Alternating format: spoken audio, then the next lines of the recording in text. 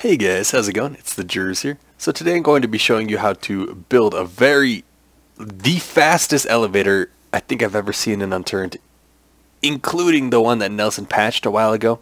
Um, and it is by far the fastest one to build that I've ever seen. Like that is a guarantee. Whether or not it's the fastest one, it's questionable, but it seems to me that it is. Alright, so the only thing you're going to need for this, oh, and it's not resource heavy at all, guys. All you're going to need are small plates of some sort. It doesn't matter what type. We're going to get a few more. Um, and then you need a vehicle of some type. So we're just going to spawn in a vehicle real quick here. That'll work. Alright, so, yep, you have your vehicle. Now you're going to want to find a flat spot, stop your vehicle, get in the driver's seat and jump out. As you can see, it kicks us out to the uh, the driver's side here. We don't want that. So we're going to block that up. And guys, if this was a longer build, I, I would just show you guys what it did before I showed you how to build it. But this thing's going to take like two minutes tops. Alright, now we uh, get back in, jump out again. And now it kicks us out on the passenger side. We don't want that either. So we're going to just block this up. Bada boom, bada bing. Jump back in, jump out. And now you can see as we jump up there is a, a part where it's green. So at the peak of your jump you're going to want to place. As you can see we did it right there. So we can jump again and the peak of our jump again we're going to place. And make sure you're looking straight down when you do this.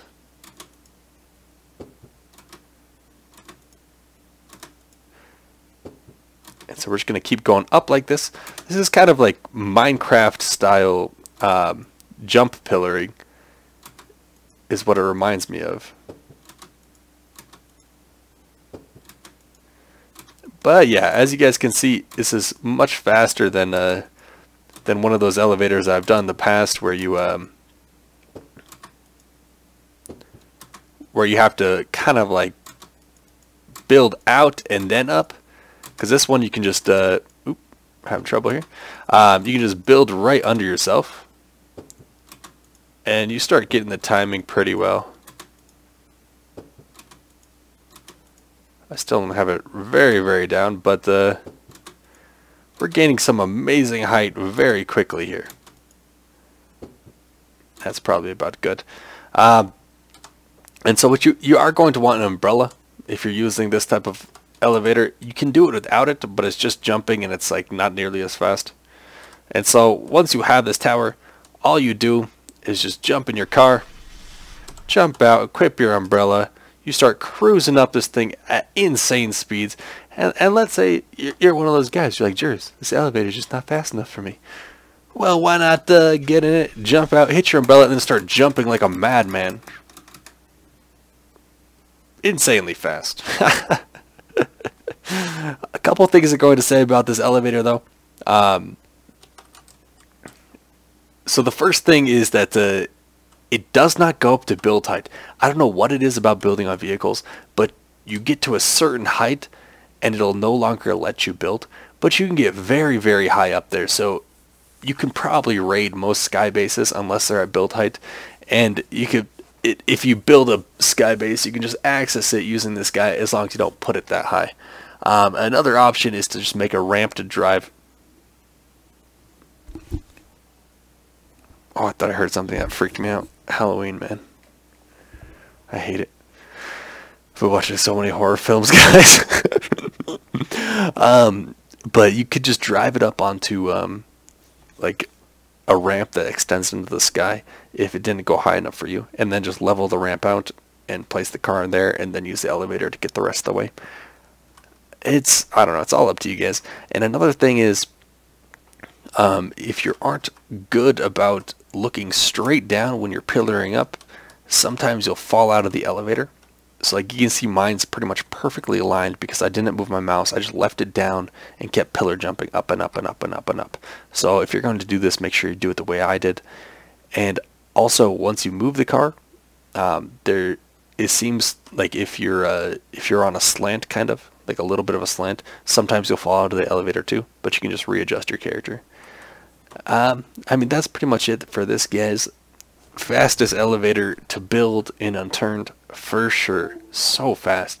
And like even if you didn't want to use it as an elevator, even if you just wanted to get up to someone's sky base real quick, you could build this thing in a couple minutes, be raiding that guy's sky base in no time. All right, and I'm going to show you guys a couple little uh, little bonus glitches, if you if you will. Uh, these are just like interesting little things that I've been messing around with. Nothing really video worthy, but I don't know. I think they're funny. I think you guys might enjoy them too. But you guys don't have to watch the rest of this if you don't want to. You can just enjoy your little elevator. But as soon as we get in here,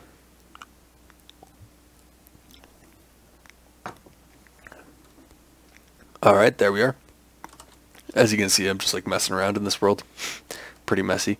Uh, oh, you can also do it with generators, but why would you want to do it with generators? it's really expensive. So the first thing I want to show you guys, or I guess this thing, is you can actually get in the train and place things in it with uh, the method of the method that I showed you guys to get through doors. So all you're gonna want to do, you're gonna it's gonna have to be a little bit different, but you're just going to put a first you're just going to here I'll just remove this so you guys can see. You just get beside the train. You're gonna take a plate, put it as close to you as possible, and take another plate, lean it down over your face, and you jump. Oop, I don't think that one was leaned enough. And then you jump. Oop. Yeah, this guy's kind of hard. So you have to do it like it's a multi-step process because you can't um you can't just put yourself in the train right away. You have to jump into the train a little bit. There we go. See, that's what we wanted. Um, and then now the second one, which we're going to place it as close to us as possible, then lean it down as much as possible. You can see you can lean it down much more now than you could before. So now we should go right in here. Bada boom, bada bing. Um, and then once you're in here, I don't know, you could place CID for locker, uh, 328. Um, so I've tested some locker locations. So you are in inside the train, so you got to think that people could be sitting here. Um, but you can like even cover up their uh, their view if you kneel. That the craziness stops happening, but also it makes it harder to place items. Uh, so yeah, if you just stack two lockers on each other, just kind of hard to do all in one go. Just gotta do stuff like this.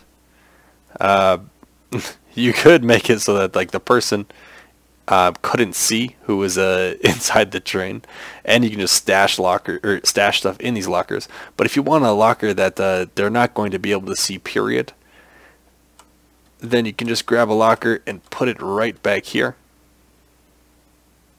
And since the train is indestructible currently, this is like the safest loot you'll ever have. and this is a bonus glitch. A lot of people might not watch this. Um, but yeah, you can just like jam a bunch of lockers in here. And then when you go when you go on the outside, you can't even see it. Oh, we can see this one up here. Let's see if we can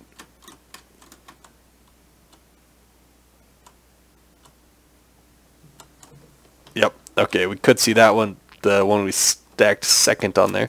Um, and another thing I forgot to mention, uh, when you're doing this glitch, you are going to have to uh, build up here like this and put a large plate. Let's grab a large plate. Um, you have to put a large plate over the top here. Otherwise, you'll just pop right out the top, and uh, and you don't want that. All right, so yeah, you just have the large plate on top. I'll just do it one more time for uh, demonstration reasons. Uh, lean it over yourself. See if we can do the first try this time. Jump. Yep, we got it. And then you're going to place it as close as possible this time. Lean it as much as possible. And now it should be right in there. Yep. And you can see all our lockers that we put down. Which apparently... We're inside one of our lockers right now. Uh, which is kind of cool. I've never been inside a locker before. Don't plan on doing it again. Uh, it was kind of an uncomfortable experience. no, just kidding. Uh, then as you see, we're just, uh, I don't know, we're just cruising around inside this train. We can play stuff if we want. It's kind of harder to get over to this part. Oh, looks like we're over it pretty well. Yeah, I don't know. Oh, I think we just popped out. Yeah, but regardless, it's kind of funny to hide your lockers in a train if, if you're into that stuff. Um, there's one more that I want to show you guys real quick. Sorry that this is unedited. Um, this is just bonus stuff, honestly.